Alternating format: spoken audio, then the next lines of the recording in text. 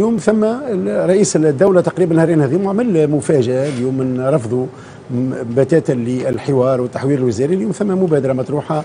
هو تحوير التحوير وعدم عرضه على البرلمان. وساطة من نور الدين الطبوبي لقاء بهشام المشيشي لقاء براشد غنوشي لقاءات بشخصيات سياسية من أجل حل حالة ربما الأزمة السياسية في هذا التوجه. شنو رأيك ربما في هذه المبادرة اللي خرجت النهارين هذا؟ رئيس الجمهورية هو نفسه. لا تنتظر منه أن يتغير مثقال حبة من خردل.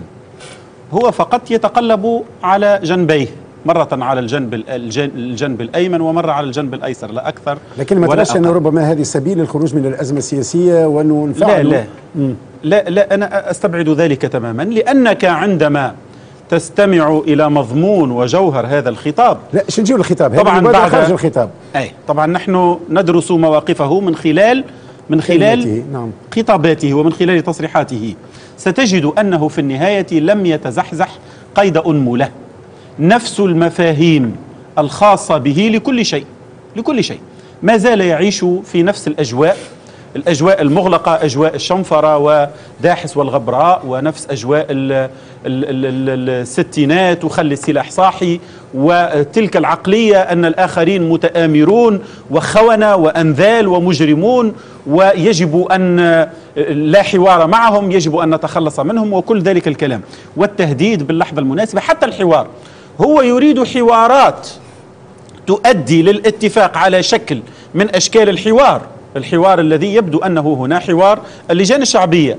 كي نتفق على شكل من أشكال الحوار وهذا الحوار حول مضامين أنا أحددها ولكن دون أن أبين وأفصل فيها فأقول فقط الأطراف الوطنية هي التي ستشارك.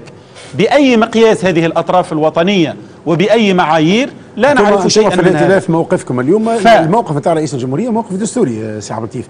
وقت اللي يقول أنه تحوير الوزاري ما يتعداش على البرلمان. هذا في الدستور ما تذكرش. ثم سكت عن التحويلات الوزارية وتكلم به النظام الداخلي فقط. معناها هي قراءة دستورية. غريب. أترى ما يحصل في تونس الآن؟ م.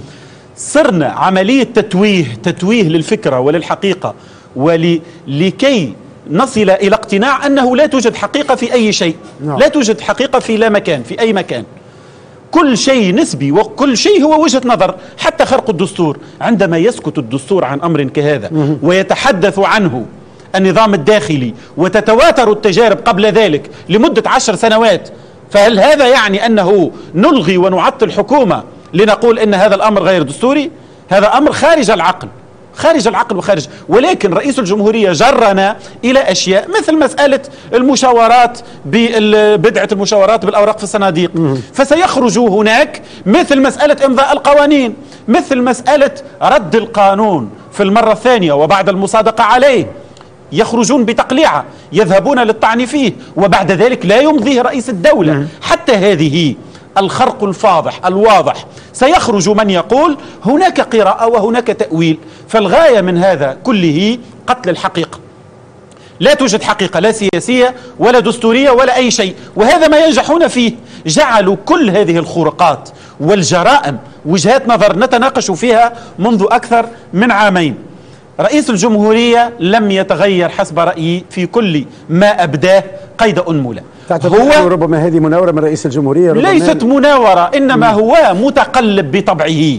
ليست المرة الأولى التي يعلن فيها عن قبوله الحوار ثم بعد ذلك ينقلب ويطلق صواريخه الخطابية في اجتماع يليه ثم يرتد عن كل شيء. ليست المرة الأولى. ونعرف التجربة السابقة مع الطبوب وكيف أنه القطيعة التي دامت أكثر. ثم اليوم عندما يدعو يتحدث عن مقاومة الفساد ثم يدعو الفخفاخ والشاهد على الأقل مشتبهين بالفساد كغيرهما.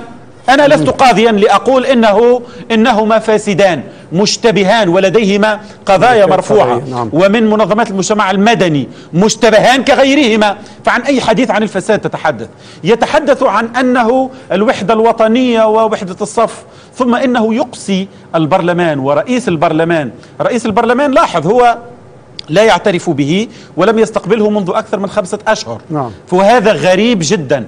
حتى في التفاعل رئيس لا يتحاور لا يستمع. عندما يستدعي هؤلاء ولست أعرف بأي صفة استدعى رؤساء حكومات. هناك مؤسسة اسمها رؤساء حكومات السابقين. لديك رؤساء أحزاب وأحزاب ونواب وممثلون لهذا المنتظم السياسي وتستدعي من تشاء. لحظة آه، أنت كي- تعرف كي أنه رئيس أنتهي من هذا؟ الجمهوريه لا تفضل.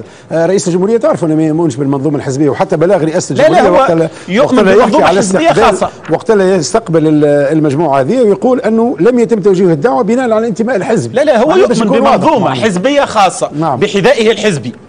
بحذائه الحزبي فقط التيار والشعب. أليس من الأحزاب؟ هل هما من ال- ال- الفرق ال- ال- اللاهوتية؟ من الأحزاب. لكنه يؤمن بأحزاب أحزاب وظيفية.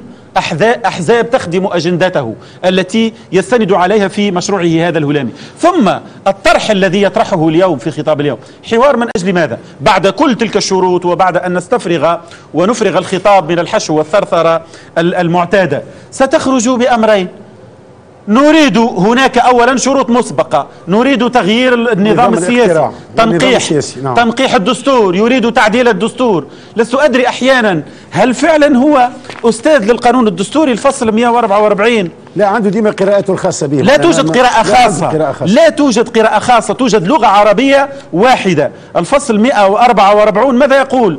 كل مبادرة لتعديل الدستور تعرض من قبل رئيس مجلس نواب الشعب على المحكمة الدستورية؟ لإبداء الرأي في كونها لا تتعلق بما لا يجوز تعديله حسب ما هو مقرر بهذا الدستور فالشرط المؤسس لتعديل الدستور هو المحكمة الدستورية سهل الذي سهل. التي يغلق دونها الباب سهل الصعب هذه سهلة. هو ويمنع الوحيد للدستور وقال بالأيام تطبيقه. في 6 أبريل فإذا في المستير إذا كل هذا حديث مثل ما يقال بالدارجة حديث غايب شطرة. نعم.